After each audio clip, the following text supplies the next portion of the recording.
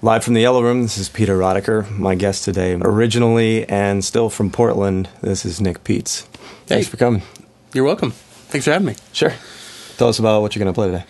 Uh, the song's called "When You're Gone." It was uh, it's a co-write by um, uh, with one of my uh, uh, good friends, uh, old um, teacher in high school, Rob Bartoletti, and um, we've been working for uh, about a year writing songs and just starting to sift through them and and uh, put together a list for for an album.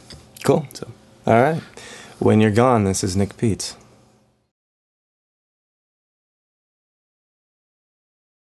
In the morning when you're gone, will I think to myself I can't go on? Will I pick myself off the ground? Will I have the strength for one more run? In the morning, in the morning, when you're gone. In the evening when I speak, will my dreams make me sad? Will I miss you next to me? Will I think of what we had in the evening? In the evening when you're gone.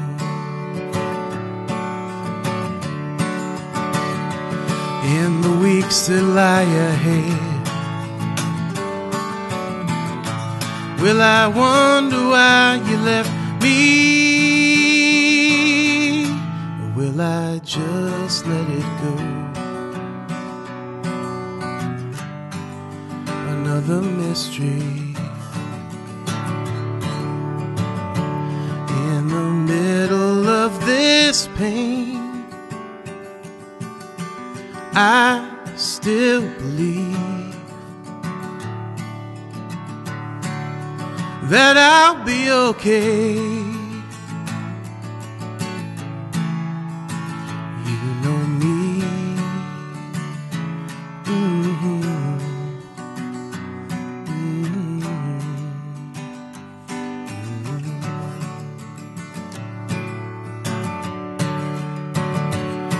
in the weeks that lie ahead. Will I wonder why you left me? Or will I just let it go? Another mystery in the morning, in the morning when you're gone. And in the evening, in the evening, when you're gone. In the evening, in the evening, when you're gone.